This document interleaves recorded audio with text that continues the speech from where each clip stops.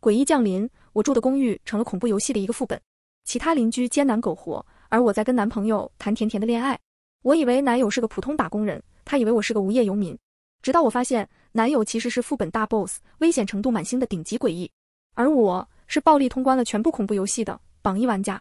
订阅练练推文，每天更新精彩完结文。正文现在开始。我刚买完菜回到小区，世界变了，整栋公寓被混沌的黑雾笼罩，天色翻涌着血红。欢迎来到安心公寓。作为本公寓的租户，请你务必遵守以下规则：一、绝对不要擅自离开公寓，外面很危险，相信你不会想知道那些黑雾是什么。二、邻居之间应当是和谐友好的，遇见邻居要打招呼，不然你的邻居会不高兴。三、晚上十二点后不要出门，有东西敲门千万不要开，也不要查看猫眼，哪怕门外是你熟悉之人的声音。四、不要靠近一直打开着却空无一人的电梯，请无视它，走楼梯，直到你在某个楼层发现它恢复正常为止。五、时刻牢记你是人类，人类是肢体健全的，只有一个影子，且影子不会突然发出嬉笑咀嚼声。如果你遇到了不正常的人类，可以来到保安室寻求保安的帮助。六，保安室是绝对安全的，保安可以信任，但请注意不要在保安室待超过两小时，不要惹保安生气。七，公寓没有物业，记住，公寓没有物业。最后，离 Triple X 远点。祝愿您在安心公寓度过愉快的七天。游戏开始了，前方响起一阵喧哗，我抬头看到公寓门口聚集了一堆人，他们年龄和着装各异，表情或惊慌或凝重。除了我以外。在场还有一个女孩子，她咬着唇，发出压抑的哭声。懂了吗？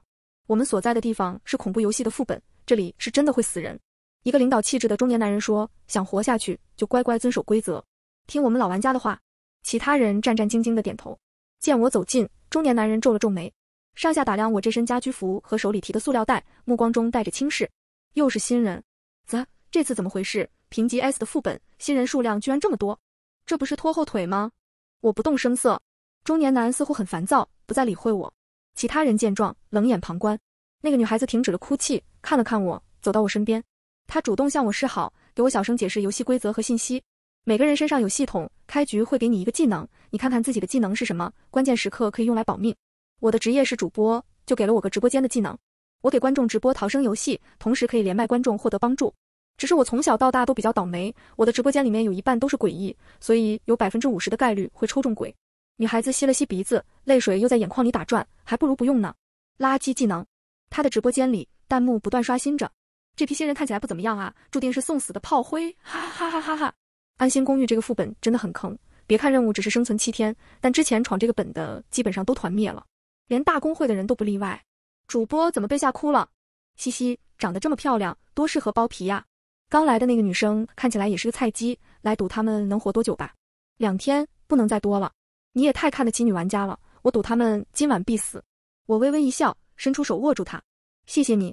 对了，我叫林优，一起组个队吗？女孩子紧紧抓着我，似乎想从我这里汲取一点勇气。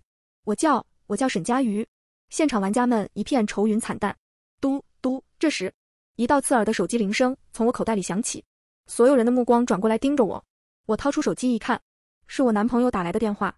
阿玉，我嗓音和表情都轻柔下来。手机贴近耳膜，隐隐传来一阵模糊不清的尖叫声，有人在嬉笑，以及震颤的什么坚硬的东西碎裂的闷响。我问你那边什么声音？男友沉默一瞬，开口没有，是小动物在叫。我单位收容了一些小动物。我哦，这样啊。阿玉的声音低沉沙哑，却透着莫名的乖巧。宝贝，对不起，今晚我要加班，就不回来吃晚饭了。最近我们很忙，嗯，又加班。我皮笑肉不笑，天天加班。我都很久没和你好好吃一顿饭了，亏我今天还买了你爱吃的菜。每天晚上睡觉，我都独守空房。在你心里是加班重要，还是我重要？不是不让你工作，而是加班这种不良风气不可取。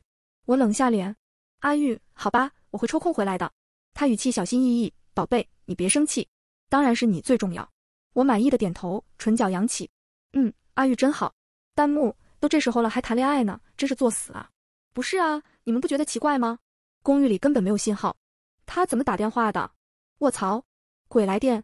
确实没信号，其他玩家都是过了，无法联系外界。这类诡异很会伪装的，专门骗新人上当。这个叫林优的要凉凉喽，首杀预定。沈佳瑜脸都白了，但全场除了我，没人愿意和他组队。他没办法，只好默默跟着我。每名玩家都有一张身份卡。上面写了自己扮演的身份信息以及居住的门牌号。沈佳瑜恰好和我住在同一个楼层，我俩结伴走入公寓大楼，却在电梯前方猛地停住。电梯门大开着，里面空荡荡，什么也没有。四四方方的电梯箱体，仿佛一个巨大的铅灰色棺材，又好似怪物正张着血盆大口，无声的、阴冷的盯着到来的猎物。沈佳瑜抓着我的手更紧了。林优姐，规则上的禁忌出现了：四，不要靠近一直打开着却空无一人的电梯，请无视他，走楼梯，直到你在某个楼层发现他恢复正常为止。别怕，别一直注视他。我看了一眼便收回视线，语气平静。我们走楼梯，楼道里一片漆黑，伸手不见五指。我牵着沈佳瑜。一步步往上走，哒哒哒，诡异的死寂中，连时间也模糊。脚下的台阶莫名有些柔软塌陷，踩在上面，连脚步声都变得沉闷，简直就像是人类的血肉和皮肤。这个念头刚闪过我脑海，耳边顿时传来沈佳瑜带着哭腔的一声惊叫：“姐姐，我左手边有女人的头发！”我停住脚步，转头，凭借极佳的夜视能力，我看到她肩膀上趴着一颗人头，腐烂的人脸紧贴着沈佳瑜的脸颊。露出一个惨白的扭曲微笑，弹幕疯狂刷屏。卧槽卧槽，人头的长发一点点缠在他手臂上，好吓人。林优怎么这么冷静啊？那眼神好像在看什么脏东西一样。一旦被这只人头诡异缠上，就跑不掉了。人越恐惧，他吸食血肉的速度越快。怎么办？怎么办？沈佳瑜腿都吓软了。我用力拽着他的手，坚定道：“深呼吸，不要慌张，按我说的做。你先往上走两步，别回头。”沈佳瑜乖乖走了两个台阶，立刻僵在原地一动不动，大气都不敢出。我伸出手抓住他肩上的大团头发，直接将人头撕了下来，猛地一扔，人头撞在墙上，发出凄厉渗人的尖叫。我指尖微微一动，不想被我一脚踩爆就滚。尖叫声蓦地消失，人头咕噜噜滚了下去。弹幕刷出一长串的：“靠，这人头怎么这么怂啊！” 哈哈哈哈。刚刚他手里是什么？黑黑的，晃了一下就消失了。我拉着沈佳瑜继续往上。没多久，有一点昏暗的光亮显露，墙上写着血红的大字：“四楼。”电梯门关闭着，沈佳瑜狠狠松了口气，再看向我，已经成了泪汪汪的星星眼。林优姐，还好有你，呜呜呜，你是我唯一的姐。他想起了什么，又问我：“但是我们不是没有违反规则吗？为什么会遇到诡异？规则其实就是一种文字游戏罢了。电梯无疑是危险的，可规则又没说楼梯绝对安全啊。”我嗓音冷而轻，但不走楼梯也不行。要是一直在原地等待电梯关闭，那就触犯了无视他的条件，因为你注意到了他的存在。沈佳瑜脸色很难看，小声说：“这也太坑了吧！还没入住公寓，光是找房间都处处是陷阱。这新人有点东西啊，说不定真能活到后期。那又怎样？四楼可是副本死亡率最高的楼层，这才第一天，后面只会越来越难。”我们来到走廊，走廊很狭窄幽深，头顶的灯光晦暗不明。不远处，一阵怪异刺耳的咀嚼声响起，空气中弥漫着一股浓烈的。令人作呕的血腥气。我缓缓走进我居住的四百零四号门，一只怪物蹲在我家对面的门口，正在往嘴里塞尸块。怪物四肢细长，五官扭曲，血肉模糊的嘴巴裂开，裂到了耳根，满口尖利的牙齿很轻易将人类的血肉和骨头碾碎，嚼得软烂。它腹部有个大洞，一边吃一边往下掉。咚！一颗被啃掉半边的脑袋掉落，是某个老玩家的头。惊恐的表情定格在脸上，死不瞑目。我和怪物对视。他张开了血盆大口，我面不改色的捡起地上的半边脑袋递给他，哥们，你的小零食掉了，神他妈小零食，这心理素质，姐你进游戏前干什么的？就算是经验丰富的老玩家，看到这一幕也控制不住生理反应，他居然还跟没事人一样。优姐有点牛逼在身上的。怪物沉默了几秒，他目光越过我，看向我身后瑟瑟发抖的沈佳瑜，我蹙眉，轻轻推了推他，低声提醒，打招呼。规则二：邻居之间应当是和谐友好的，遇见邻居要打招呼，不然你的邻居会不高兴。我指着怪物的腰间，那里挂着一串钥匙，牌子上写着四百零七，正是我家对门的邻居。好在沈佳瑜还算机灵，瞬间领会。他狠狠掐了自己一把，脸上勉强挂着职业假笑。大哥晚上好啊，你牙口真不错 啊哈哈！怪物咧嘴一笑，喉咙里发出尖锐难听的声音。你们也想尝一尝我的晚餐吗？沈佳瑜拼命摇头，不了不了，我是颜值主播，要保持身材，晚上都不吃饭的。大哥真是太客气了，还是你自己留着吃吧。怪物皱巴巴的脸蠕动两下，露出了一个惋惜的表情。下一瞬，他忽然靠近，和我脸对着脸，死死盯着我。我是不是在哪里见过你？我笑了笑，我一直都住在你对门的四百零四。怪物表情僵住了，他的面容越来越扭曲，猛地往后退了几步。等等，这个气息，你你是？怪物砰的一声撞在墙上，拉开四百零七的房门，飞速进屋，关门，一气呵成。沈佳瑜还在懵逼状态。黑暗中，阴影躁动。怪异的影子投射在墙上，缓慢的涌动，像某种不稳定的流质，化不开的浓墨。有人的脚步声不紧不慢的传来，越来越近，最终在我身后停下。悠悠，我回来了！我惊喜的转身，心脏剧烈跳动起来。是我的男朋友石玉回来了。他背着光，高大的身形和黑暗融为一体，漆黑的繁复纹路占据了他半边脸，仿佛藤蔓攀爬而上，又像是不祥的符咒。纹路中间透着血肉愈合的肉粉色，还遍布着交错的疤。尽管如此，依然遮盖不住他另外半边脸的英挺帅气。副本大 boss 出现了！妈呀，他这次怎么提前出场了？boss 好帅呀！这张伟大的脸真的，哪怕毁容了也魅力不减，反而更戳 XP 了。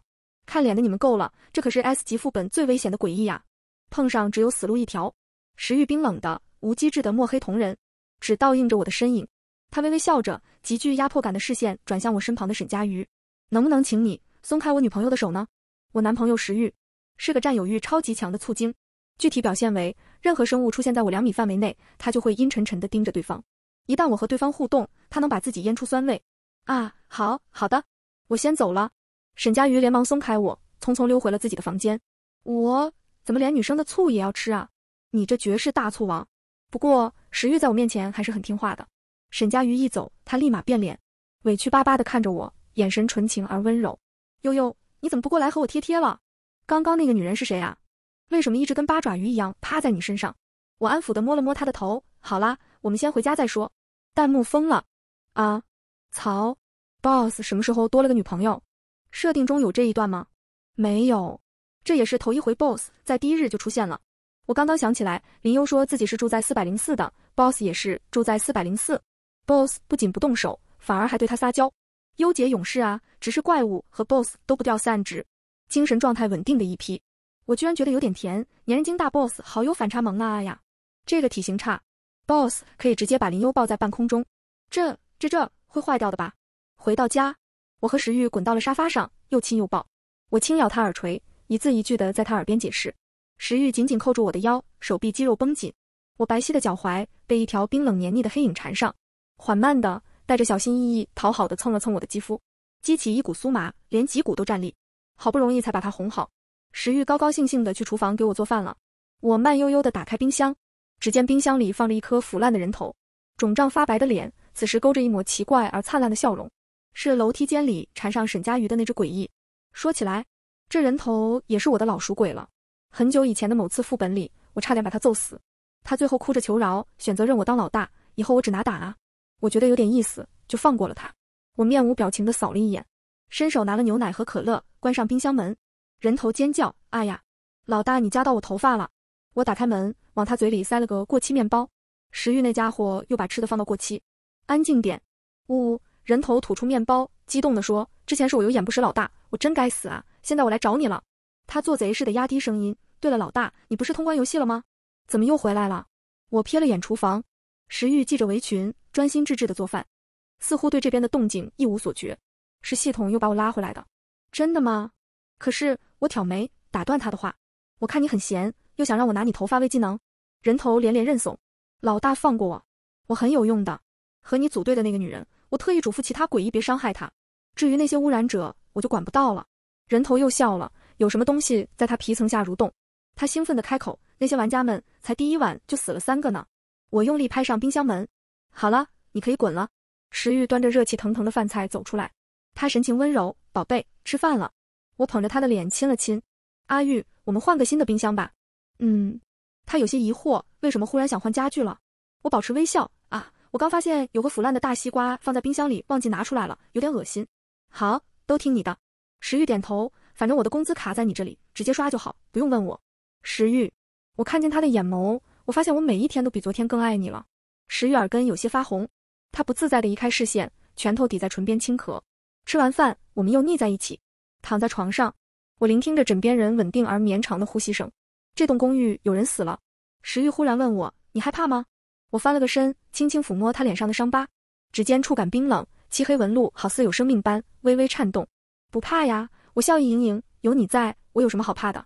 你就是我的守护骑士。石玉耳根又可耻的红了。悠悠，其实我……他的唇离我越来越近。这时，门口传来巨响，外面有人在猛地敲我家的门。救命啊！救救我！有没有人开门？求求你开门啊！他来了，他来了！我家房门被拍得震天响，门外人的声音逐渐从惊恐哀求到变调的刺耳尖叫，拍门声变成了指甲用力抓挠门板的嘎吱声。嘻嘻嘻嘻嘻，快开门啊！总给人一种对方粘在猫眼上，恨不得挤进来的感觉。暧昧旖旎的恋爱气氛被毁了个干净，男友的怨气都凝成实体了。第二日，我隔壁的邻居哥蹲在地上啃尸体，地上的尸体正是昨晚敲门的那个人，也是游戏开局时嫌弃我是新人的那个中年男。现在已经成了惨不忍睹的一坨，看不出人样。不过他是因为触犯了不能十二点后出门的规则才死的。石玉带着一肚子怨气上班去了，临走前他还一脸凝重的把我塞回房间，让我别出门。等他走后，我才出来查看。沈佳瑜心惊胆战的推开门，把我拉到无人的角落。林优姐，我有了副本的线索，你看看。他咽了咽唾沫，目光犹豫不决。沈佳瑜说，就在昨晚，他房间里多了一张新的规则纸。我拿过来一看，上面用鲜血写着。一、公寓二十四小时供应热水和电，如果你遇到停水停电的情况，可以寻求物业的帮助。二、保安很危险，和公寓规则完全相反。幸存的玩家们大清早抱团交换信息，沈佳瑜也参与了。他听说所有人房里都出现了这张规则纸，好巧不巧，昨晚有一个人去了保安室，再也没回来。玩家们一时陷入了左右为难的巨大恐慌中，到底什么是真，什么是假？沈佳瑜焦虑地咬着手指，喃喃自语。明明大家都知道晚上十二点后不能出门，为什么那个老玩家会死在这么简单的规则上？林优姐，这个副本有问题，真的很可怕，我出不去的，我会死在这里，所有人都会死。我好像看到他了，影子在对我笑，他盯上我了，我脸色微变。沈佳瑜现在的状态很不对劲，像是被污染了。第一天他被诡异缠上，难免会沾上一些不好的东西。精神污染会改变人类的认知，甚至诱导玩家主动触犯规则。精神不够稳定，或者和诡异接触频繁，都容易受到污染，而玩家本人并不会察觉。一旦被严重污染，玩家会彻底迷失在副本中，成为诡异的一员。中年男就是因为认知错乱后才触发了必死条件。我当机立断，一拳干在沈佳瑜脑门上，把他打晕了。指尖黑线涌动延伸，融入墙角。人头鬼被我叫来，我吩咐道：“摇几个人来，帮我把他抬去保安室。”规则中提到，看见不正常的人类可以寻求保安的帮助。那为什么要去找保安？为什么要强调保安室绝对安全？很简单，说明保安室是可以缓解污染的安全点。规则五第一句话：时刻牢记你是人类。人头鬼办事很快，剩余的五名幸存玩家都被赶了过来。他们眼底青黑，战战兢兢地靠在一起。看到我不仅活得好好的，还指挥人头鬼的场景，玩家们瞳孔地震。在人头的威慑下，五人不得不跟着我前往保安室。林优的技能是控鬼，操纵诡异，不像啊。人头明显有自己的意识，而且莫名笑得一脸谄媚。话说林优手里那个会动的黑线好眼熟，我好像在哪里见过。林优是我见过的最强新人，我觉得他真能带着同伴通关。四，所以保安室到底能不能去？我解释一下，当玩家看到嬉笑的影子，也就是他的时候，说明被污染了，必须赶紧去保安室缓解污染。只要不在保安室停留超过两小时或者惹怒保安，就是安全的。林优的判断非常正确。至于为什么说保安很危险，你们等会就知道了。保安室位于公寓大门外，四周盘旋的黑雾好似活了过来，离保安室远远的。保安室内除了没人外，一切正常。沈佳瑜躺在沙发上，脸色一点点恢复平静，而我坐在保安专用的办公椅上转着笔。玩家们窃窃私语，时不时往我这边瞥一眼。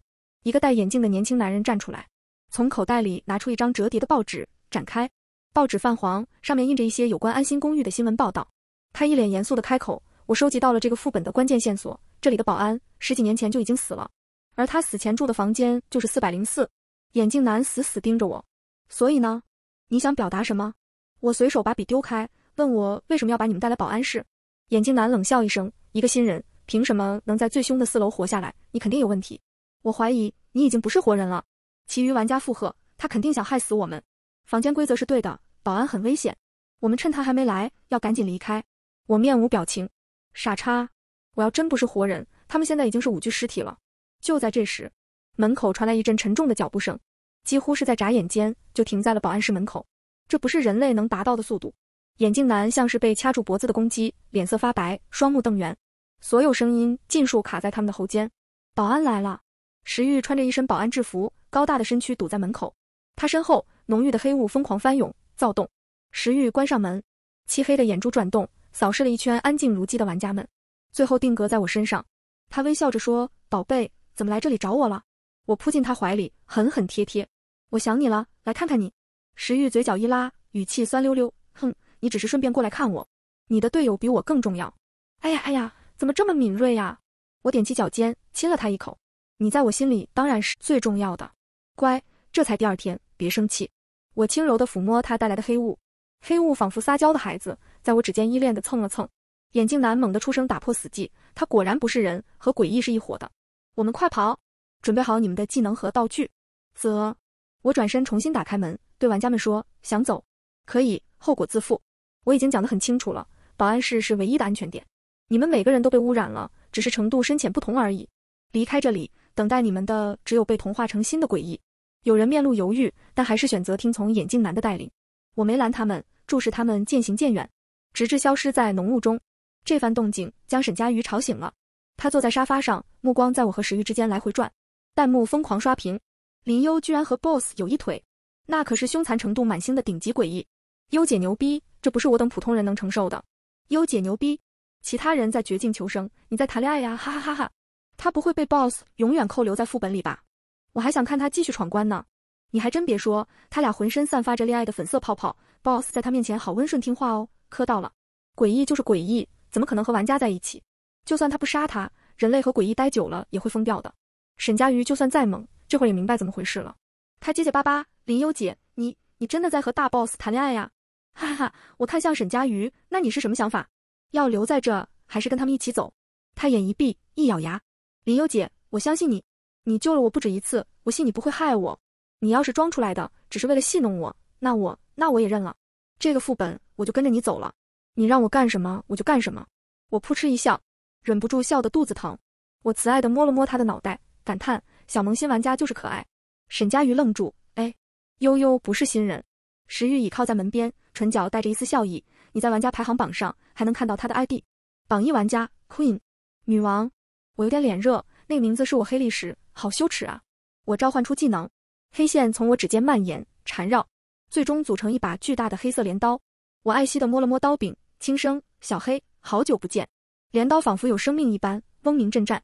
这就是我的技能黑线，柔软如绸缎，锋利若刀片，可以变换成任意的武器和物品。而黑色镰刀是我常用的形态。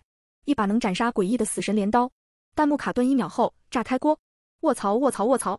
是 Q 神，恐怖游戏的断层榜一玩家。Q 神是谁呀？很厉害吗？唯一一个通关了恐怖游戏的玩家，你说厉不厉害？据说榜二现在的积分才到他的一半。Q 神行事很低调的，每次过副本都会买易容道具，没人见过他真正的样子。甚至还有人猜测 Q 神是个男的。这把死神镰刀收录进了名人殿的展示，只此一个，再无复刻。只要亮出这把镰刀，那肯定是 Q 神本人。妈妈，我见证历史了，Q 神居然回归了。我就说副本难度怎么这么高？沈佳瑜好半天没缓过神，他拍了拍自己的脸，恍惚：我这是抱上金大腿了。沈佳瑜看了看石玉，又补充：还是两根金大腿。震惊过后，他有满肚子的疑惑要问我。所以保安室是安全的，但房间的规则究竟怎么回事？那几个玩家坚信公寓规则有一条是假的，他们去找物业了，说是肯定有通关的线索。我叹了口气。爱作死，拦不住的。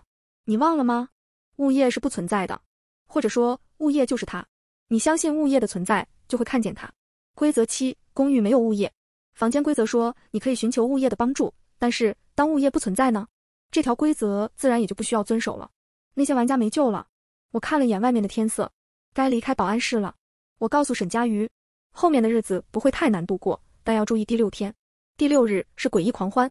诡异和污染者屠杀剩下的活人，身为 BOSS 的食欲也会躁动，阴气大增。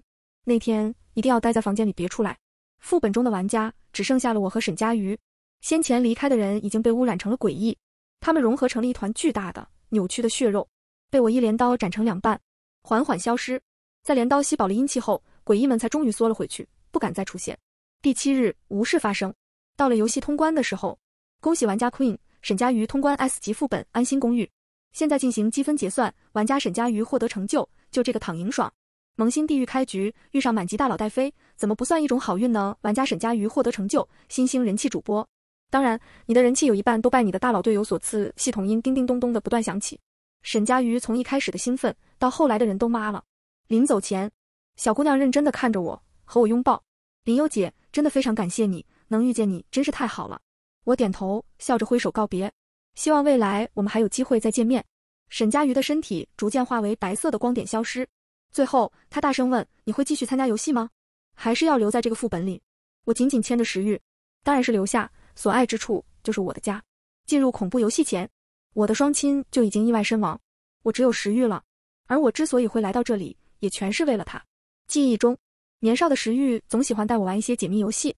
他说：“悠悠，你记住，规则其实就是一种文字游戏，你要带入制造规则的人去思考，去推理其中的逻辑漏洞。你想获得的信息都藏在字里行间。”是啊，石玉死后，我终于活成了他的模样。石玉，职业侦探，与警方合作多年，致力于打击和追踪犯罪团伙。某次，他孤身深入对方老巢，却被卧底背叛，暴露身份。恶人们将石玉折磨致死，尸体埋在他们新盖的公寓地基里。而我自杀后，强烈的执念引来系统，进入了恐怖逃生游戏。系统许诺参与游戏可以获取积分，实现愿望。我的愿望只有一个：找到石玉，包括他死亡的真相以及尸体和灵魂。这就是石玉和林幽的故事。后来，已死之人的鬼魂庇护他的爱人，在每一个濒死的关头，他的爱人是个疯子，一个用诡异喂养死人的疯子。他不要命的通关了很多副本，逐渐爬上玩家排行榜，亲手抓来很多很多的诡异，用来喂养他死去的魂灵，一点点滋养壮大，同时也被诡异污染同化。他的记忆残缺不全，属于人类的那部分并不多，但好在他的灵魂还记得爱他，只爱他。他像个骑士一般，默默守在他身后，只听他一人的话。倘若有人胆敢伤害他的女王，他会杀了那个人。这是副本大 boss 和榜一玩家 Queen 的故事。我虽然行事疯狂。但还有基本的身为人的底线，我不会去狩猎玩家、残杀同胞，除非玩家已经被污染成了诡异。只是谁都没有想到，有一天恐怖游戏侵蚀现实世界，诡异们肆意横行，残杀人类。石玉以自身为牢笼，锁着公寓里的诡异们，不让他们有机会入侵现实。游戏察觉到了这点，于是安心公寓被游戏化为副本，投入玩家。没人知道，保安室就是石玉的善意所化，用来保护玩家。不能在那里待超过两小时，是因为会被 BOSS 身上的阴气影响，受到更严重的精神污染。规则都是对的，食欲是很危险，可它也值得信任。这就是我爱的食欲呀！不论变成什么样子，不论是不是人类，他的灵魂都炽烈滚烫，燃烧着，引诱我奋不顾身的火光。公寓再一次恢复安宁，这里的几百只诡异见了我就跟受惊兔子一样跑掉，也没人再来打扰我和食欲独处。我和他躺在床上，黑影小心翼翼地摸了上来，将我的身体圈在领地内。在我的肌肤上游走，无机质的墨色眼瞳盯着我。随后，那点墨色落了下来，和我吻在一起。他的心脏狂跳，他的血液沸腾，和我紧紧交缠，密不可分，如同他的爱。全文完。